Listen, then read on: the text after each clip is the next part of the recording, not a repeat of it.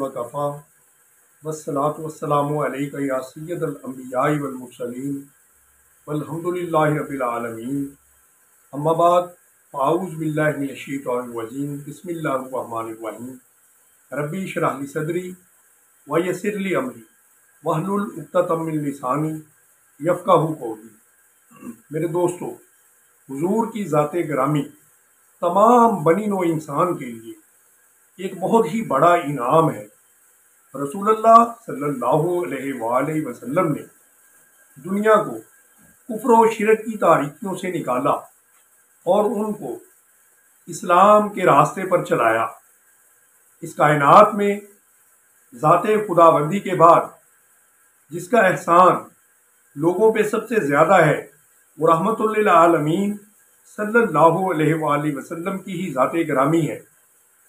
अल्लाह ताला और उसके फरिश्ते नबी अकरम सल्लल्लाहु अलैहि वसल्लम पर दरूद और रहमत भेजते हैं। जैसा कि कुरान करीम में ज़िक्र है इन व मलाइकतहु यसल्लूना अलन नबी। या अय्युहल्लज़ीना आमनु सल्लु इसलिए ए ईमान वालों, तुम भी आप सल्लल्लाहु अलैहि वसल्लम पर दरूद सलाम भेजा करो।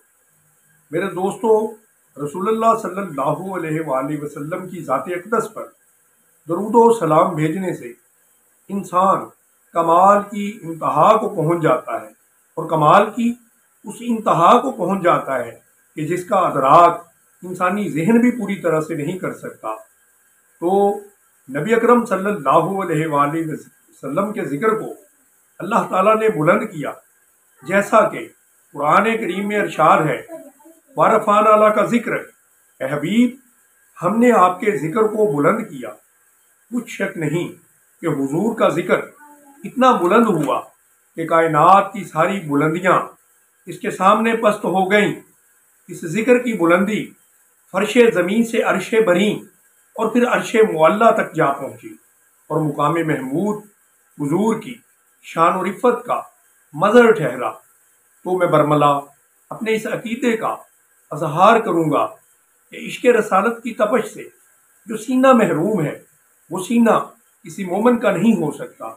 तो नबी अकरम सल्लल्लाहु अलैहि वसल्लम ने दुनिया को कुफर शिरक के रास्ते से हटा के उनके दिलों को इस्लाम की रोशनी से मुनवर किया। नबी अकरम सल्लल्लाहु अलैहि वसल्लम अल्लाह अज़्ज़ा वजल की तरफ़ से भेजे गए आखिरी नबी और रसूल हैं, जिसका ज़िक्र, कुरान और हदीस दोनों में है, जैसा कि अशार रबानी है, माँ काना मुहम्मद अबा अहदुम मिन रिजालिकुम वला किर रसूल अल्लाह व खातमन नबीयीन। नबी अकरम सल्लल्लाहु अलैहि वसल्लम तुम्हारे मर्दों में से किसी के बाप नहीं, बल्कि वो अल्लाह के रसूल और ख़ातमन नबीयीन है। इसी तरह से हदीस में भी नबी अकरम सल्लल्लाहु अलैहि वसल्लम को आखिरी नबी और रसूल कहा गया। मेरे दोस्तों, नबी अकरम सल्लल्लाहु वसल्लम पर नबूवत का सिलसिला ख़त्म कर दिया गया। आप सल्लल्लाहु वसल्लम के बाद कोई भी नबी या रसूल क़यामत तक नहीं आएगा, बल्कि जो नबूवत का अजहार करेगा और अपने आप को नबी या रसूल कहेगा, वो काफर जंदीक और मुर्ताद होगा।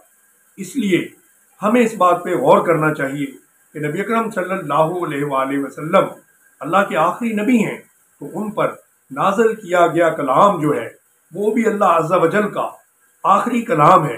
ये वो फाइनल नसाब है, जिस पर अमल करके हम दुनिया और आखिरत की कामयाबी जो है, उसको हासिल कर सकते हैं।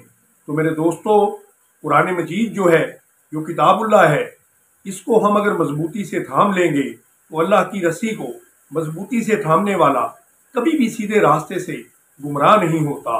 और अलैहि वसल्लम की सीरत को अगर पढ़ के हम हकीकी मानों में नबी अकरम सल्लल्लाहु वसल्लम की ज़िंदगी के मुताबिक अपनी ज़िंदगियों को ढाल लें और नबी अकरम सल्लल्लाहु वसल्लम से मोहब्बत करें, हकीकी मानों में तो नूर बसीरत मिलेगा और हमारी तमाम मसाइल जो हैं वो हल हो जाएँगे। आज के इस पुरफितन दौर में जब माशरती बुराइयाँ जो हैं, वो अरूज पे हैं, बुराई को बुराई नहीं समझा जाता, करप्शन का बाज़ार जो है वो सरगर्म है। इंटरनेट, मोबाइल और कंप्यूटर वगैरह की तबाहकारियाँ जो हैं, वो अपने अरूज पर हैं। तो ऐसे में इतबा रसूल सल्लल्लाहु अलैहि वसल्लम का बहुत ही ज़्यादा फुकदान देखने में नज़र आ रहा है। अगर हम बहसीत कौम अपने आप को मनवाना चाहते हैं और इज़्ज़त से ज़िंदगी गुजारना चाहते हैं तो हमें नबी अकरम सल्लल्लाहु अलैहि वसल्लम के मुबारक उसवाए हसना पर चलना होगा और अपनी ज़िंदगियों को पुराने करीम के मुताबिक ढालना होगा। फिर हम इन अपना खोया हुआ मुकाम जो है, उसको हासिल कर सकते हैं और दुनिया में कामयाबी से हम किनार हो सकते हैं। दुआ है कि अल्लाह ताला आपको और मुझे नबी अकरम सल्लल्लाहु अलैहि वसल्लम के बताए हुए मुबारक रास्ते पर चलने की तोफ़ी अता फरमाए और हमें कुरान करीम का हकीकी मानों में फहम अता फरमाए ताकि हम अपनी ज़िंदगियों को कामयाबी से